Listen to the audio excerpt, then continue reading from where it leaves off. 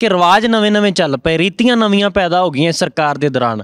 ਮੰਡੀਆਂ ਦੇ ਵਿੱਚ ਜਿੱਥੇ ਕਿਸਾਨ ਰੋਲ ਰਹੇ ਆ ਉੱਥੇ ਦਿਨ ਦਿਹਾੜੇ ਪੁਲਿਸ ਅਫਸਰਾਂ ਦੀਆਂ ਡਾਰਾਂ ਭੱਜੀਆਂ ਫਿਰਦੀਆਂ ਮੰਡੀਆਂ ਦੇ ਵਿੱਚ। ਹਾਲਾਂਕਿ ਅੱਜ ਕੱਲ ਤੇ ਉਹ ਵੀ ਲੀਡਰ ਬਾਹਰ ਆ ਗਏ, ਹੁਣ ਮੰਡੀਆਂ ਦੇ ਵਿੱਚ ਚਾਹੇ ਵਿਰੋਧ 'ਚ ਬੈਠੇ ਨੇ, ਕੈਪਟਨ ਅਮਰਿੰਦਰ ਸਿੰਘ ਦੀ ਗੱਲ ਕਰ ਰਹੇ ਆ ਉਹਦੇ ਬਦਲੇ ਆਮ ਆਦਮੀ ਪਾਰਟੀ ਨੇ ਵੀ ਉਹਨਾਂ ਨੂੰ ਜਵਾਬ ਦੇ ਦਿੱਤਾ ਕਿ ਕਿਵੇਂ ਆਏ ਨੇ ਡਰਾਮਾ ਕਰਨ। ਪਰ ਪੁਲਿਸ ਦਾ ਮੰਡੀਆਂ ਦੇ ਵਿੱਚ ਦੌਰੇ ਹੋਣਾ ਜਾਂ ਇੱਕ ਤਸਵੀਰ ਬੜੀ ਵਾਇਰਲ ਹੋ ਰਹੀ ਹੈ। ਬਜ਼ੁਰਗ ਕਿਸਾਨ ਹੱਥ ਜੋੜੀ ਖੜੇ ਆ ਤੇ ਪੁਲਿਸ ਅਫਸਰ ਤੇ ਡਿਪਟੀ ਕਮਿਸ਼ਨਰ ਸਾਹਮਣੇ ਖੜੇ ਆ ਚੌੜੇ ਹੋ ਕੇ। ਦੇਖੋ, ਸਭ ਤੋਂ ਵੱਡੀ ਗੱਲ ਹੈ ਕਿ ਸਰਕਾਰ ਇਸ ਮਸਲੇ ਦੇ ਵਿੱਚ ਬੁਰੀ ਤਰ੍ਹਾਂ ਫੇਲ ਹੋਈ ਆ। ਸਰਕਾਰ ਨੂੰ ਇਹ ਪ੍ਰਬੰਧ ਕਰਨੇ ਚਾਹੀਦੇ, ਸਰਕਾਰ ਕੋਲ ਪ੍ਰਬੰਧ ਨਹੀਂ ਹੋਣੇ ਚਾਹੀਦੇ। ਜਿਹੜੀ ਖਰੀਦ ਦਾ ਜ਼ਿੰਮੇਵਾਰ ਉਹ ਪੰਜਾਬ ਦੇ ਫੂਡ ਸਪਲਾਈ ਡਿਪਾਰਟਮੈਂਟ ਦੀ ਜ਼ਿੰਮੇਵਾਰੀ ਹੁੰਦੀ, ਉਹਦੇ ਡਾਇਰੈਕਟਰ ਦੀ, ਉਹਦੇ ਸੈਕਟਰੀ ਦੀ ਤੇ ਉਹਦੇ ਮੰਤਰੀ ਦੀ ਜ਼ਿੰਮੇਵਾਰੀ ਹੁੰਦੀ। ਇਹ 4-5 ਮਹੀਨੇ ਪਹਿਲਾਂ ਐਕਸਰਸਾਈਜ਼ ਸ਼ੁਰੂ ਹੋ ਜਾਂਦੀ ਆ। ਤੁਸੀਂ 4-5 ਮਹੀਨੇ ਸੈਂਟਰ ਸਰਕਾਰ ਦੇ ਕੰਨ ਖਾਦੇ ਹੁੰਦੇ, ਉਹਨਾਂ ਦੇ ਸਿਰ ਤੇ ਖਲੋਂਦੇ, ਜੇ ਨਹੀਂ ਸੁਣਦੇ ਹੀ ਪੰਜਾਬ ਫੂਡ ਸਪਲਾਈ ਡਿਪਾਰਟਮੈਂਟ ਦਾ ਡਾਇਰੈਕਟਰ ਸੈਕਟਰੀ ਮੰਤਰੀ, ਕੇਂਦਰੀ ਮੰਤਰਾਲੇ ਦੇ ਸਾਹਮਣੇ ਟੈਂਪ ਟੈਂਪੂ ਲਾ ਕੇ ਤੰਬੂ ਲਾ ਕੇ ਤੇ ਧਰਨਾ ਦਿੰਦੇ। ਸੈਂਟਰ ਦੀਆਂ ਵੀ ਅੱਖਾਂ ਖੋਲਦੀਆਂ। ਹੁਣ ਤੁਸੀਂ ਆਪ ਬੇਕਸੂਰਵਾਰ ਹੋ ਤੇ ਸੈਂਟਰ ਨੂੰ ਵੀ ਕਸੂਰਵਾਰ ਦੱਸ ਰਹੇ ਹੋ। ਤੁਹਾਡੇ ਕੋਲ ਸਮਾਂ ਨਹੀਂ ਸੰਭਿਆ ਗਿਆ। ਜਿਹੜੀ 4-5 ਮਹੀਨੇ ਪਹਿਲਾਂ ਐਕਸਰਸਾਈਜ਼ ਕਰਨੀ ਪੈਂਦੀ ਉਹ ਨਹੀਂ ਕੀਤੀ ਤੁਸੀਂ। ਇਸ ਕਰਕੇ ਅੱਜ ਕਿਸਾਨ ਸੜਕਾਂ ਤੇ ਨੇ। ਉਹ ਥਾਂ ਥਾਂ ਅੱਜ ਅੱਜ ਵੀ ਉਹਨਾਂ ਨੇ 4 ਘੰਟੇ ਸੜਕਾਂ ਰੋਕੀਆਂ ਤੇ ਪੰਜਾਬ ਦੀ ਜਨਤਾ ਕਿੰਨੀ ਖੱਜਲ ਖਵਾ ਰਹੀ ਹੈ। ਸਾਰੀ ਜ਼ਿੰਮੇਵਾਰੀ ਪੰਜਾਬ ਸਰਕਾਰ ਦੀ ਦੋਸ਼ੀ ਪੰਜਾਬ ਸਰਕਾਰ। ਜਦੋਂ ਕਰੋਨਾ ਕਾਲ ਸੀ ਫੂਡ ਸਪਲਾਈ ਡਿਪਾਰਟਮੈਂਟ ਦੀ ਡਾਇਰੈਕਟਰ ਸੀ ਅਨੰਦਿਤਾ ਮਿੱਤਰਾ। ਫੂਡ ਸਪਲਾਈ ਵਿਭਾਗ ਦਾ ਸੀ ਸੈਕਟਰੀ ਗੁਰਕੀਰਤ ਕਿਰਪਾਲ ਸਿੰਘ ਜੋ ਇਸ ਸਮੇਂ ਹੋਮ ਸੈਕਟਰੀ ਨੇ। ਔਰ ਮੰਤਰੀ ਸੀ ਲੁਧਿਆਣੇ ਵਾਲੇ ਭਾਰਤ ਭੂਸ਼ਣ ਆਸ਼ੂ। ਉਸ ਕੱਲੀ ਲੇਡੀ ਆਫੀਸਰ ਨੇ। ਕਰੋਨਾ ਕਾਲ ਦੇ ਵਿੱਚ ਵੀ ਫਸਲਾਂ ਚੱਕੀਆਂ ਹੈਗੀਆਂ ਨੇ। ਤੇ ਅੱਜ ਇਹਨਾਂ ਕੋ ਫਸਲਾਂ ਹੀ ਚੱਕੀਆਂ ਅੱਜ ਕਹਿੰਦੇ ਸੈਂਟਰ ਧੱਕਾ ਕਰ ਗਿਆ। ਉਹ ਜੀ ਬਦਲਾ ਲੈ ਰਹੇ ਨੇ ਕਿਸਾਨੀ ਅੰਦੋਲਨ ਦਾ। ਜੇ ਕਿਸਾਨੀ ਅੰਦੋਲਨ ਦਾ ਬਦਲਾ ਲੈਣਾ ਹੁੰਦਾ ਤੇ ਪਿਛਲੀਆਂ ਤਿੰਨ ਫਸਲਾਂ ਕਿਉਂ ਚੁੱਕਦੇ? ਔਰ ਫਿਰ ਉਹਨਾਂ 30000 ਕਰੋੜ ਰੁਪਈਆ ਪਹਿਲੀ ਦਫਾ ਹੋਇਆ ਐਡਵਾਂਸ ਸੀਸੀਐਲ ਲਿਮਟ ਜਾਰੀ ਹੋਈ। ਨਹੀਂ ਤੇ 1 ਤਰੀਕ ਨੂੰ 1 ਅਕਤੂਬਰ ਨੂੰ ਸ਼ੁਰੂ ਹੁੰਦੀ ਆ। ਤੇ ਜਾ ਕੇ 31 ਤਰੀਕ ਨੂੰ ਜਾਂ 30 ਤਰੀਕ ਨੂੰ ਪੰਜਾਬ ਦੇ ਖਜ਼ਾਨੇ 'ਚ ਸੀਸੀ ਲਿਮਟ ਆਉਂਦੀ ਸੀ। ਇਹ ਸਰਕਾਰ ਫਸ ਗਈ ਆ ਕਿਉਂਕਿ ਇਹਨਾਂ ਨੇ ਤਿਆਰੀ ਨਹੀਂ ਕੀਤੀ। ਪਤਾ ਨਹੀਂ ਸੈਂਟਰ 'ਚ ਜਿਹੜੀ ਇਹਨਾਂ ਦੇ ਹਾਈ ਕਮਾਂਡ ਬੈਠੇ ਨੇ ਉਹਨਾਂ ਨੇ ਪਤਾ ਨਹੀਂ ਇਹਨਾਂ ਦੇ ਕੀ ਧੂੜ ਧੂੜਿਆ ਕਿ ਸਾਡੇ ਤੋਂ ਬਗੈਰ ਤੁਸੀਂ ਸੈਂਟਰ ਦੇ ਵਿੱਚ ਕਿਸੇ ਨੂੰ ਮਿਲਣ ਨਹੀਂ ਜਾਣਾਗਾ ਇਲੈਕਸ਼ਨ ਵੀ ਤਾਂ ਜ਼ਰੂਰੀ ਸੀ ਨਾ ਉਹ ਵੀ ਤੇ ਜ਼ਰੂਰੀ ਹੈ ਲੜਨੀ। ਨਹੀਂ ਉਹ ਅਫਸਰ ਤੇ ਇੱਥੇ ਸੀ ਨਾ। ਅਫਸਰਾਂ ਨੇ ਨਹੀਂ ਪੈਰਵਾਈ ਕੀਤੀ। ਇਲੈਕਸ਼ਨ ਪਹਿਲਾਂ ਵੀ ਤਾਂ ਇਲੈਕਸ਼ਨਾਂ ਸਰਕਾਰਾਂ ਕਰਦੀਆਂ ਰਹੀਆਂ। ਇਹ ਨਵੀਂ ਇਲੈਕਸ਼ਨ ਤੇ ਨਹੀਂ ਲੜ ਰਹੇ ਸੀ। ਪਰ ਇਹ ਸਰਕਾਰ ਦਾ ਬੁਰੀ ਤਰ੍ਹਾਂ ਫੇਲਿਅਰ ਰਹੀ ਗੱਲ ਕਿ ਆ ਜਿਹੜੀ ਪੰਜਾਬ ਦੇ ਵਿੱਚ ਪਹਿਲੀ ਦਫਾ ਹੋਇਆ ਕਿ ਮੰਡੀਆਂ ਦੇ ਵਿੱਚ ਐਸਐਸਪੀ ਤੇ ਡੀਆਈਜੀ ਤੁਰੇ ਫਿਰਦੇ ਹੈਗੇ ਨੇ। ਇਹ ਪੁਲਿਸ ਦਾ ਕੰਮ ਆ। ਖਰੀਦ ਦਾ ਕੰਮ, ਖਰੀਦ ਜਿਹੜਾ ਕ- ਕਣਕ ਝੋਨੇ ਦਾ ਜਿਹੜਾ ਜ਼ਿੰਮੇਵਾਰੀ ਉਹ ਹੈਗੀ ਆ ਫੂਡ ਸਪਲਾਈ ਦੀ ਤੇ ਸਿਵਲ ਪ੍ਰਸ਼ਾਸਨ ਦੀ। ਪੁਲਿਸ ਦਾ ਕੰਮ ਹੈਗਾ ਕਾਨੂੰਨ ਵਿਵਸਥਾ ਨੂੰ ਕਾਬੂ ਕਰਨਾ ਕੰਟਰੋਲ ਕਰਨਾ। ਤੇ ਹੁਣ ਜ਼ਿਲ੍ਹਿਆਂ ਦੇ ਵਿੱਚ, ਮੰਡੀਆਂ ਦੇ ਵਿੱਚ ਐਸਐਸਪੀ ਤੁਰੇ ਫਿਰਦੇ ਹੈਗੇ ਨੇ।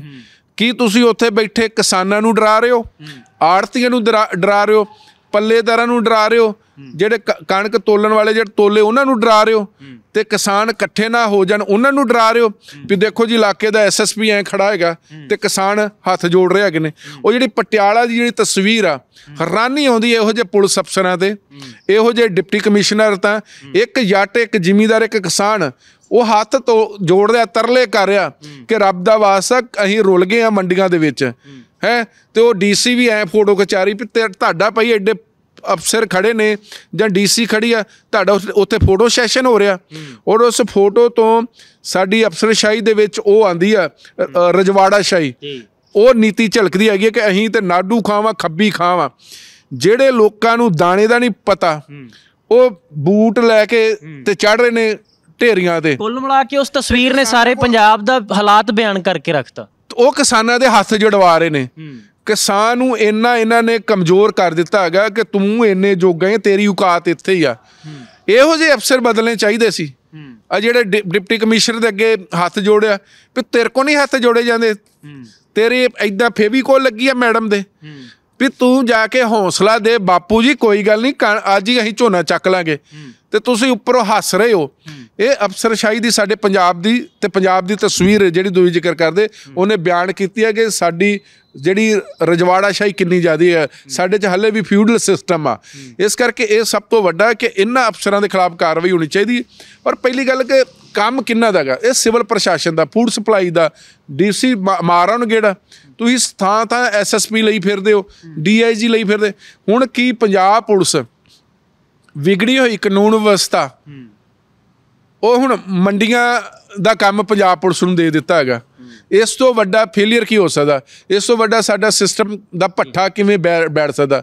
ਤੇ ਫਿਰ ਇਦਾਂ ਕਰਦੇ ਆ ਜਿਹੜਾ ਕਾਨੂੰਨ ਵਿਵਸਥਾ ਦਾ ਕੰਮ ਆ ਨਾ ਉਹ ਫੂਡ ਸਪਲਾਈ ਵਿਭਾਗ ਨੂੰ ਦੇ ਦਿੰਦੇ ਆ। ਤੇ ਪੁਲਿਸ ਵਾਲਿਆਂ ਨੂੰ ਤਾਂ ਫੂਡ ਸਪਲਾਈ ਵਿਭਾਗ ਦਾ ਕੰਮ ਦੇ ਹੀ ਦਿੱਤਾ। ਔਰ ਦੂਜੀ ਗੱਲ ਜੇ ਕੈਪਟਨ ਅਮਰਿੰਦਰ ਸਿੰਘ ਨਿਕਲ ਆਏ ਤੇ ਪੰਜਾਬ ਸਰਕਾਰ ਨੂੰ ਕੀ ਸਮੱਸਿਆ? ਆਪੋਜੀਸ਼ਨ ਦੇ ਲੀਡਰ ਵੀ ਜਾਂਦੇ ਨੇ। ਹੁਣ ਤੁਸੀਂ ਕਹਿੰਦੇ ਕਿ ਕੈਪਟਨ ਅਮਰਿੰਦਰ ਸਿੰਘ ਕਿਉਂ ਆ ਗਿਆ? ਕਹਿੰਦੇ ਡਰਾਮਾ ਕਰਦੇ ਆਮ ਆਦਮੀ ਪਾਰਟੀ ਤੋਂ ਵੱਡਾ ਤੇ ਕੋਈ ਡਰਾਮਾ ਕਰਦਾ ਨਹੀਂ ਹੈ। ਹਾਂ। ਬੀਜੇਪੀ ਵੀ ਕਰਦੀ ਹੈ ਸਿਆਸਤ ਦੇ ਵਿੱਚ ਸਾਰੇ ਡਰਾਮੇ ਕਰਦੇ ਨੇ ਪਰ ਤੁਸੀਂ ਡਰਾਮੇ ਕਰਨ ਦਾ ਮੌਕਾ ਕਿਉਂ ਦਿੱਤਾ? ਤੁਸੀਂ 4-5 ਮਹੀਨੇ ਪਹਿਲਾਂ ਐਕਸਰਸਾਈਜ਼ ਕੀਤੀ ਹੁੰਦੀ ਤੇ 52 ਥਾਵਾਂ ਤੇ ਰੋਜ਼ ਹੀ ਧਰਨੇ ਚੱਲ ਰਹੇ ਨੇ। ਕਿਸਾਨ ਮੰਡੀਆਂ ਦੇ ਵਿੱਚ ਰੁਲ ਰਿਹਾ ਫਸਲ ਵੀ ਮੰਡੀਆਂ 'ਚ ਰੁਲ ਰਹੀ ਆ ਤੇ ਕਿਸਾਨ ਰਾਹ ਰੋਕ ਰਹੇ ਨੇ ਤੇ ਜਨਤਾ ਰੁਲ ਰਹੀ ਆ। ਐਮਐਲਏ ਮੰਤਰੀ ਤੇ ਅਫਸਰ ਦੇ ਆਨੰਦ ਮਾਣ ਹੀ ਰਹੇ ਨੇ। ਹੁਣ ਕਹਿ ਰਹੇ ਹਰਪਾਲ ਸਿੰਘ ਚੀਮਾ ਕਹਿ ਰਹੇ ਜਾਂ ਅਮਨ ਅਰੋੜਾ ਕਹਿ ਰਹੇ ਕਿ ਕੈਪਟਨ ਅਮਰਿੰਦਰ ਸਿੰਘ ਡਰਾਮੇ ਕਰ ਰਹੇ। ਭਈ ਤੁਸੀਂ ਡਰਾਮੇ ਕਰਨ ਦਾ ਮੌਕਾ ਨਹੀਂ ਦਿੱਤਾ। ਹੁਣ ਹੋ ਸਕਦਾ ਕਿ ਇਹਦੇ 'ਚ ਬੀਜੇਪੀ ਆਪਣਾ ਪਲਾਨ ਖੇਡੇ। ਜਿਹੜੀ ਸਰਕਾਰ ਕਹਿੰਦੀ ਨਾ ਵੀ ਸਾਡੇ ਕੋਲ ਪਲਾਨ B ਆ। ਹੁਣ ਪਲਾਨ B ਮੈਨੂੰ ਲੱਗਦਾ ਬੀਜੇਪੀ ਖੇਡੇਗੀ। ਹੋ ਸਕਦਾ ਕਿ ਜਿਹੜੀਆਂ ਛੋਟਾਂ ਕਿਉਂਕਿ ਬੀਜੇਪੀ ਵੀ ਹੁਣ ਮੈਦਾਨ ਦੇ ਵਿੱਚ ਆ ਗਈ ਆ। ਕੈਪਟਨ ਅਮਰਿੰਦਰ ਸਿੰਘ ਵੀ ਮੰਡੀਆਂ ਤੇ ਜਾ ਹੋ ਸਕਦਾ ਜਾਖੜ ਸਾਹਿਬ ਵੀ ਹੋਰ ਵੀ ਇਹਨਾਂ ਦੇ ਸਾਰੇ ਆਏ ਨੇ। ਫਿਰ ਇਹਨਾਂ ਦਾ ਹੁਣ ਪਿੱਛ ਵਫਦ ਜਾਊਗਾ ਸੈਂਟਰ ਦੇ ਵਜ਼ੀਰ ਨੂੰ ਮਿਲੂਗਾ ਉਹ ਕਹਿਣਗੇ ਜੋ ਜੋ ਛੋਟਾਂ ਦੇ ਦੇਣਗੇ। ਫਿਰ ਵੀ ਇਹ ਆਮ ਆਦਮੀ ਪਾਰਟੀ ਵਾਲੇ ਹੱਥ ਮਲਦੇ ਰਹਿ ਲਣਗੇ। ਟੋਟਲ ਜਿਹੜਾ ਫੇਲਿਅਰ ਆ ਨਾ ਜਿਹੜੇ ਝੋਨੇ ਦਾ ਝੋਨੇ ਦੀ ਫਸਲ ਦੀ ਜਿਹੜੀ ਲਿਫਟਿੰਗ ਨਹੀਂ ਹੋਈ ਖਰੀਦ ਨਹੀਂ ਹੋਈ ਪਿਛਲਾ ਸਟਾਕ ਨਹੀਂ ਇੱਥੋਂ ਲਿਫਟ ਹੋਇਆ ਔਰ ਕਿਸਾਨ ਮੰਡੀਆਂ ਦੇ ਵਿੱਚ ਰੁਲਿਆ 80 ਤੋਂ 90 ਫੀਸਦੀ ਜੇ ਦੋ ਜ਼ਿੰਮੇਵਾਰੀ ਬੰਦੀ ਸੀ ਉਹ ਪੰਜਾਬ ਸਰਕਾਰ ਦੀ ਬੰਦੀ ਕਿਉਂਕਿ 180 ਲੱਖ ਟਨ ਤੋਂ ਜ਼ਿਆਦਾ ਹੁਣ ਝੋਨਾ ਮੰਡੀਆਂ ਦੇ ਵਿੱਚ ਆਉਣਾ। ਸੈਲਰ ਭਰੇ ਪਏ ਨੇ। ਜੇ ਇਹਨਾਂ 5 ਮਹੀਨੇ ਪਹਿਲਾਂ ਕਾਰਵਾਈ ਕੀਤੀ ਹੁੰਦੀ ਘੱਟੋ ਘੱਟ ਉਹਨਾਂ ਚੋਂ 40 ਲੱਖ ਟਨ 50 ਲੱਖ ਟਨ ਜਿੰਨਾ ਵੀ ਆ ਉਹ ਪਹਿਲਾਂ ਗਿਆ ਹੋਊਗਾ। ਫਿਰ ਕੁਝ ਸੈਲਰ ਖਾਲੀ ਹੁੰਦੇ, ਨਵੀਂ ਫਸਲ ਆਉਂਦੀ, ਫਿਰ ਚੱਕੀ ਜਾਂਦੀ, ਫਿਰ ਇੱਕ ਇੱਕਦਮ ਥੋੜਾ ਵੀ ਟੀਕਾ ਲਾਇਆ ਤੇ ਤੁਹਾਡੇ ਢਿੱਡ ਪੀੜ ਠੀਕ ਹੋ ਗਈ, ਉਹ ਵੀ ਟੀਕਾ ਲਿਆ, ਛੇਤੀ ਨਹੀਂ ਆਰਾਮ ਮਿਲਦਾ ਹੈਗਾ। ਤੇ ਤੁਸੀਂ ਕਹਿੰਦੇ ਹੈਗੇ ਕਿ ਮੰਡੀਆਂ ਦੇ ਵਿੱਚ ਹਾਲੇ ਤੇ ਸਿਰਫ 30% ਵੀ ਨਹੀਂ ਆਇਆ। ਤੇ ਜਦੋਂ ਉੱਥੇ ਅੰਬਰ ਲੱਗ ਗਏ ਝੋਨੇ ਦੇ, ਤੇ ਸਰਕਾਰ ਕੋਲੋਂ ਸੂਰਤ ਨਹੀਂ ਸੰਭਾਲੀ ਜਾਣੀ ਹੈਗੀ, ਸਿਰਫ ਤੇ ਸਿਰਫ ਅਫਸਰਾਂ ਦੀ ਲਾਪਰਵਾਹੀ, ਮਹਿਕਮੇ ਦੀ ਲਾ- ਲਾਪਰਵਾਹੀ ਵੀ 5 ਮਹੀਨੇ 5 ਮਹੀਨੇ ਪਹਿਲਾਂ ਅਗਰ ਐਕਸਾਈਜ਼ ਇਹ ਕਰ, ਕੀਤੀ ਹੁੰਦੀ। ਤੇ ਅੱਜ ਪੰਜਾਬ ਸਰਕਾਰ ਨੂੰ ਆਹ ਦਿਨ ਨਾ ਦੇਖਣੇ ਪੈਂਦੇ ਤੇ ਵੀ ਵਿਰੋਧੀਆਂ ਦੇ ਜੇ ਉਹ ਮੰਡੀਆਂ ਦੇ ਵਿੱਚ ਜਾ ਰਹੇ ਨੇ, ਤੇ ਫਿਰ ਇਹਨਾਂ ਨੂੰ ਡਰਾਮਾ ਕਰਨ ਦੀ ਕਹਿਣਾ ਹੈ ਵੀ ਵਿਰੋਧੀ ਆ ਕੇ ਡਰਾਮਾ ਕਰਦੇ ਨੇ।